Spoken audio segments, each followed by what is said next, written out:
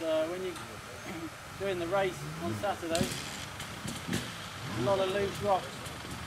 So, and obviously a lot of it's uphill. So the real safe way I find is to paddle with both legs if you balance, sitting back on the bike, you can press in the tyre, you still need to use the clutch and throttle to control the speed.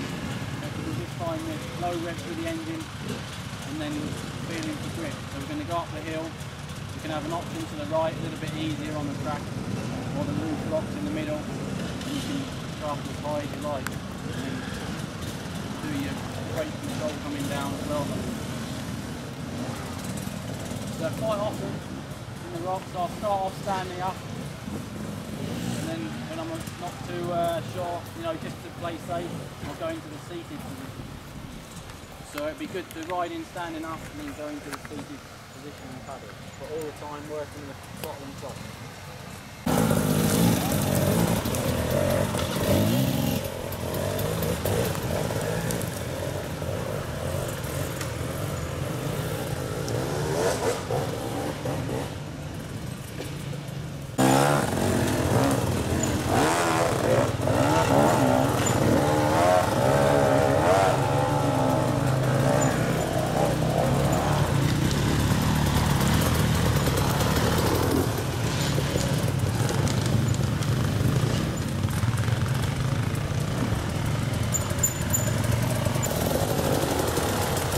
Abi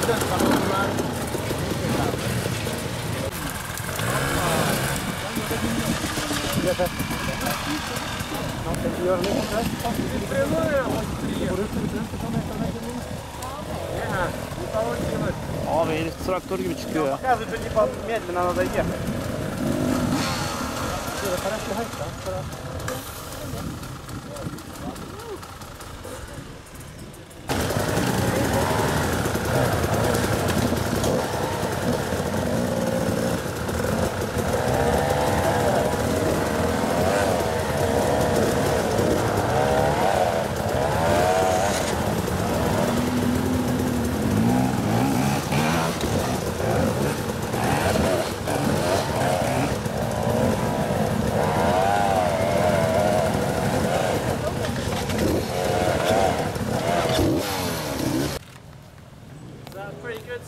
just a little bit aggressive with the throttle.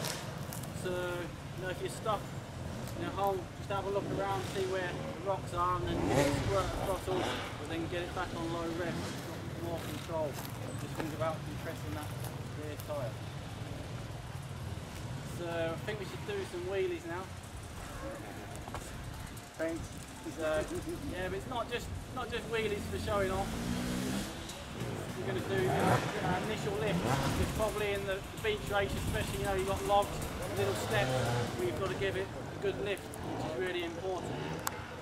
So to demonstrate the technique, I always do it with the engine off because we want to be using the suspension, not so much the engine. If you just try and gas it, it just digs in the sand or it spins up. So it's all about using the suspension. So if we try and compress the front forks, you're going to use that rebound coming back up to pull and lift the front. So it's important to flex the legs as well to help weight the front. You can put them down towards the radiators and then get a lift back up from the fork. From the bars.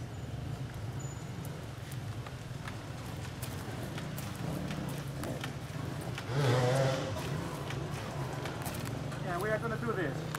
You're going to try, you're going to try. So this is just to demonstrate that you can bounce the front wheel without the engine. Hopefully it'll get you in the frame of mind. You need, there. You need front and rear brake on, so it's not rolling backwards and forwards. You have to brake on. Yeah, front and rear brake. So it's compressing up and down and not rolling backwards and forwards.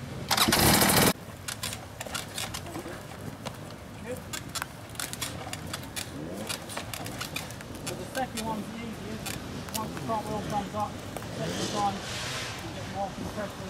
You just move it from side to side. So a little bit more to the front and then to the back. Now it's a little bit straight up and down. Back open.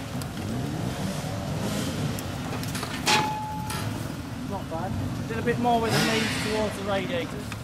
So more compression, a little bit slower. Just wait for it to compress until you, until you feel it max out. Get it, sorry, you have to get the back brake on the well. Yeah, better, better. Bit more compression. Now he's going a little bit quick. So you've got to give it time for the suspension to work. You've got to be in the same rhythm as the suspension.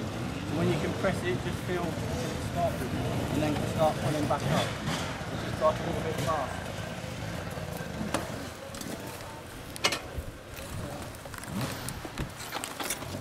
That's it. More compression, more push on the fazla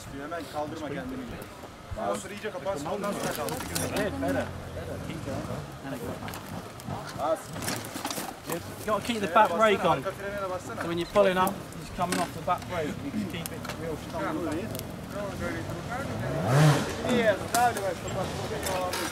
Better back brake. More compression. Don't really need it.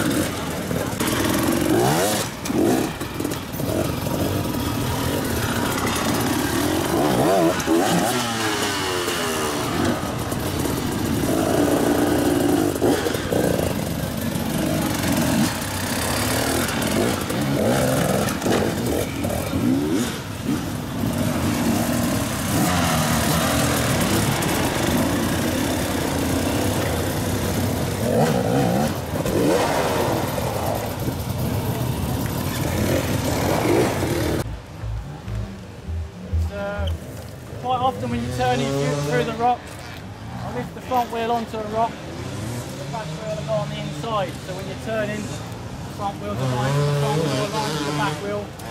If the front wheel's up high on the rock, you're not going to catch the footrests and the discs, and the pressure's going to be on the back wheel for grip.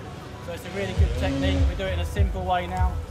Float the front wheel on, and then you can compress again and carry the front wheel. So you've got to imagine going through the rock, really good.